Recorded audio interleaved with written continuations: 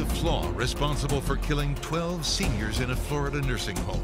Please, don't send me to that place. Now, an Action News Jax investigation uncovers that same safety risk is happening right here in Jacksonville. Tonight at 11. She has a Nigerian boyfriend. I love you, baby. She's never met. Why does your family think he is a scam? He calls you his fat fish. Fine, I'm fat. Oh my God. New Dr. Phil. Today at 4 on CBS 47.